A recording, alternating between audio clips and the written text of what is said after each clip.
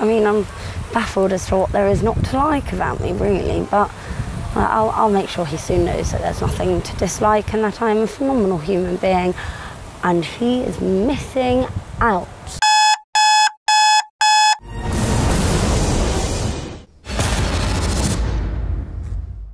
So today me and Daisy went to uh, cleanse our bodies and souls, but nothing really got cleansed, if I'm honest, because the previous night she dropped that she really liked me. I really like you. Oh, we're gonna sort it out, it's alright. Which for me just come out the, come out of nowhere and sort of realised how far a relationship had actually come. Like obviously we get on like a house on fire, we do. And we do have really like obviously good sex and that. But I don't want to ruin what we've got. Just like say we got together and it didn't work out, then Then we'd lose. we wouldn't. Yeah, we'd, I'd, I'd lose a friend. Matty and I went on a lovely date. Lovely's probably not the word to be choo- choosing.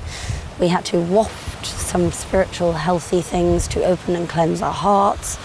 Fucking open and cleanse his heart, mate. I don't think he even has a heart. For me, there's not a romantic side there. We don't sit there and have candlelit dinners and all that shit, do we? We're like mates. But then why do we sleep together? Why don't we just like hang out as friends? Yeah, but all the people I sleep with, I don't generally have feelings for them. I got pied, the biggest custard pie I've ever had in my whole life. Um, sucks a lot. Still trying to patch up my wound. I cried buckets. Once we had that chat, she got a bit upset, which was horrible to see, because the one thing I don't want to do is upset Daisy. Like I've come here to make sure she's all right, um, but it ha- I can't keep going on pretending that there's a romantic side for me when there's not. You alright?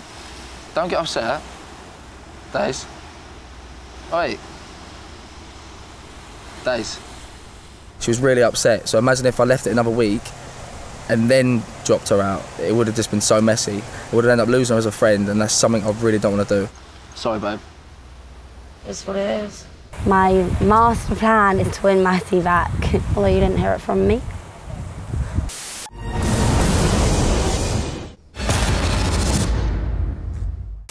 I cried buckets.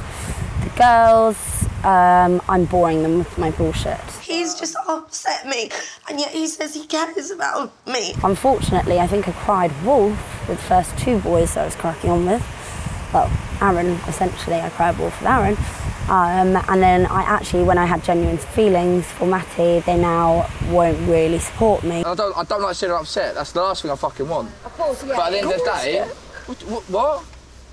If you've got something to say, mate, say I it. said you caused it, that's all. I'm upset because of you. I was happy yesterday, I'm upset because of you. Obviously, any argument that us three girls, in- that's me, Ree, Alicia, any argument that we've had has all been because of we've tried to back Daisy. We've had your back since day dot in here. We've told you when you're wrong, when you fucked up, and then to dig me out. There's three of you and one of me. I argued with the girls because they know I'm stubborn and I don't listen to a word they say.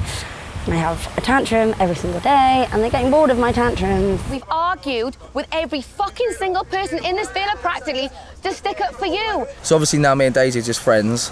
I don't really want her to get in the way with me, me and anyone else. Obviously, I get on really well with Nat. We've got great banter. Let's have a smoke.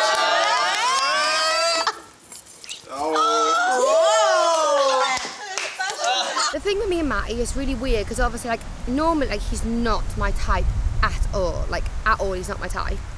Um, but like, he's, I just find him really endearing. Like, we do really, really get on, and I do like him. I can't say I don't, because I do.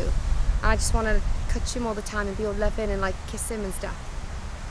Mate, I can't do it to Daisy. Like, she would literally crumble. Just take Daisy out of the situation, innit? Yeah. She'll, she'll be fine. She'll get used to Mate, it. she won't. I'm She telling you. will. She won't, honestly. I'm not going to let Daisy get in the way of me and you. We'll just have to see what happens. Like, I'm not going to say I'm going to crack on in front of Daisy because that's definitely not fair. And I definitely will not be rubbing it in her face because I wouldn't want her to do the same to me.